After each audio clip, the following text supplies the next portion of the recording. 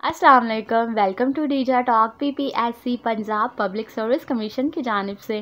New job announce कर दी गई हैं। ये कुछ इनकी बेसिक इंस्ट्रक्शंस हैं आपके सामने, जो आप रीच कर लेंगे तो जॉब की डिटेल्स जॉब के मतलब चीज़ों का इल्म आपको बहुत अच्छे से हो जाएगा। अब इनके कुछ इंपॉर्टेंट पॉइंट्स हैं, वो देख लेते हैं। ऑर्गेनाइजेशन इसमें पंजाब पब्लिक सर्विस कमीशन है, एम्प्लॉयमेंट इसके अंदर कॉन्ट्रैक्ट बेस है, ये आपके साथ इस जॉब का कॉन्ट्रैक्ट करेंगे। लोकेशन जो इसके अंदर है वो रहीम यार खान है, सरगोदा है, सियालकोट है साहिवाल है, लाहौर है, रावलपिंडी है, गुजरावाला है, मुल्तान है और फैसलाबाद है। सैलरी पैकेज इसमें एटी थाउज़ेंड से लेके वन लाख तक है। जो हमारे पास वैकेंसीज़ हैं, जो सीट्स हैं हमारे पास, वो फोर्टी सिक्स हैं। लास्ट डेट इसकी twenty three October two thousand twenty three है। अगर आप इस जॉब के लिए इंटरेस्टेड हैं या इसके अंदर अप्लाई करना चाहते हैं तो आपने ट्वेंटी थ्री से पहले इसके अंदर अप्लाई कर लेना है।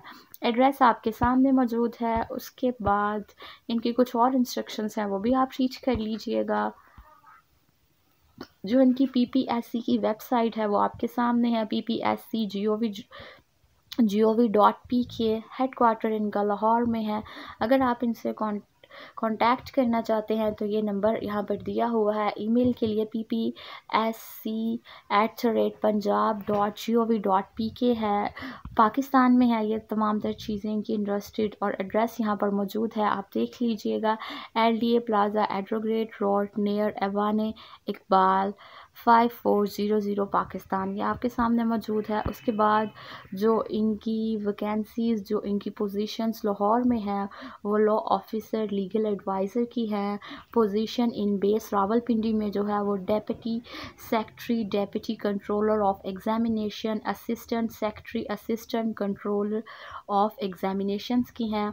उसके बाद जो है वो position in position in the specialized health and care medical education department के अंदर जो सीट्स हैं। अब मैं आपको वो बता देती हूँ। Associate professor cardiology associate assistant professor pathology microbiology associate professor anaesthesia associate professor pulmonology assistant associate professor neurosurgery ये हमारे पास पाँच छः सीट्स हैं जो हेल्थ एंड केयर डिपार्टमेंट की तरफ़ से है। उसके बाद अब इनका public service Punjab public service commission का जो एलिजिबिलिटी क्राइटेरिया है, अब वो देख लेते हैं। जो जेंडर इनको रिक्वायर्ड है, वो male and female both are eligible मर्द हजरात भी इसके अंदर अप्लाई कर सकते हैं, ख़वातीन भी कर सकती हैं और फीमेल्स भी कर सकते हैं। इसके अंदर जो स्किल रिक्वायर्ड है, वो मेडिकल की स्किल है। जो एज लिमिट है, हमें रिक्वायर्ड है यहाँ पर, वो मिनिमम फोर्टी इयर्स तक से है और मेडी मैक्सिमम फिफ्टी फाइव ईयर की है। एजुकेशन जो रिक्वायर्ड है मास्टर्स की डिग्री है। अगर आपके पास मास्टर की डिग्री है तो आप इस जॉब के लिए अप्लाई कर सकते हैं। जो एक्सपीरियंस इनको रिक्वायर्ड है, वो वन ईयर है और five year minimum one year है और मैक्सिमम फाइव ईयर तक है। उसके बाद सैलरी पैकेज मैंने आपको बता दिया है, इसके अंदर अप्लाई कैसे करना है मैं आपको वो भी बता देती हूँ। जो लोग इंटरेस्टेड हैं इसके अंदर, इस जॉब के अंदर, वो इनकी ऑफिशियल वेबसाइट है, यहाँ पर मौजूद, जो मैंने आपको पहले बताया, ये ऑनलाइन प्रोसेस है। इस तरह इसके अंदर अप्लाई करना है ऑनलाइन और जो आपकी इस जॉब की फ़ीस होगी, वो आपने मोबाइल आपने किस तरह इनको सेंड करनी है? ATM mobile phone banking internet banking and near one link banking आपके एरिए के जो आस पास थर्टी सेवन बैंक्स हैं, किसी के अंदर भी आप इनको ये जमा करवा सकते हैं। अब मैं आपको टर्म एंड कंडीशंस बता देती हूँ। ट्वेंटी थ्री के बाद अगर आपने इनको अपनी एप्लीकेशंस भेजी तो ये आपको इंटरव्यू के लिए नहीं बुलाएँगे, क्योंकि वो टाइम गुजर चुका होगा।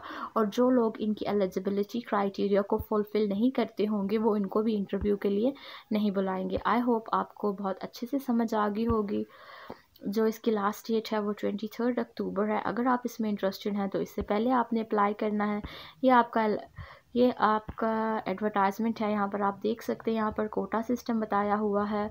उसके बाद मेल एंड फीमेल की एज बताई हुई है। वो मैंने आपको पहले ही बता दिया है, तैनाती का जो सिस्टम है, जो डिस्ट्रिक्ट्स वगैरह हैं, वो सारे बताई हुई हैं। अप्लाई करने से पहले आप रीच कर लीजिएगा। फर्दर इसके अलावा कोई एक्सप्लेनेशन की चीज़ नहीं रह गई, जो मैंने आपको ना बताई हो। मैंने आपको तमाम तर चीज़ें बता दी हैं। और कोई चीज़ रह भी नहीं गई है। यहाँ पर दो एडवर्टाइजमेंट हैं, आप दोनों देख लीजिएगा, जिसके अंदर डिफरेंट पोस्ट का बताया हुआ है उन्होंने। आपने कौन सी पोस्ट के लिए अप्लाई करना है? अप्लाई करने से पहले इसको ज़रूर अच्छे से पढ़ लीजिएगा, ताकि चीज़ों का हाउ नो आपको बहुत अच्छे से हो जाए। आई होप आपको मेरी वीडियो अच्छी लगी होगी। So don't forget like share and subscribe